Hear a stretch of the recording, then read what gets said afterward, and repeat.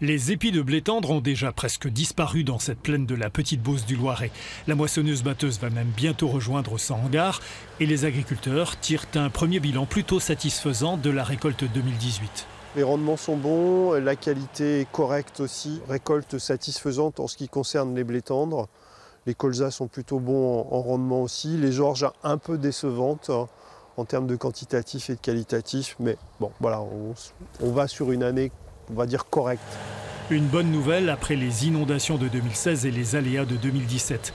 Mais la récurrence des phénomènes interpelle les céréaliers et le réchauffement climatique bouleverse le calendrier. On avait l'habitude il y a 20 ans de les finir 20-25 euh, juillet, grosso modo.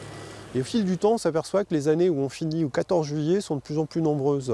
Voilà, et ça va être le cas cette année. En principe, au 14 juillet, on aura fini la moisson. Depuis le début de l'année, un nouvel outil de surveillance des effets du climat est en action en Centre-Val de Loire.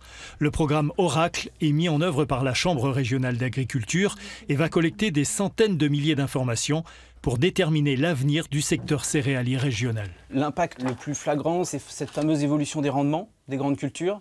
Euh, on avait euh, historiquement, depuis 50 ans, euh, une augmentation de rendement de 1 quintal par hectare et par an, qui, depuis les années 2000, stagne. Et les climatologues nous annoncent euh, des choses avec euh, l'augmentation du nombre de jours très chauds, par exemple. Alors ce que j'appelle le nombre de jours très chauds, c'est plus de 25 degrés, qui va avoir lieu au mois de mai-juin, pendant la phase de remplissage du grain des céréales qu'on appelle, et qui va euh, forcément pénaliser très lourdement le rendement. Si les scénarios des climatologues se confirment, nos plaines céréalières pourraient être différentes dans quelques décennies plus de cultures d'hiver et sans doute un nouveau calendrier de récolte pour échapper au probable allongement des périodes de sécheresse.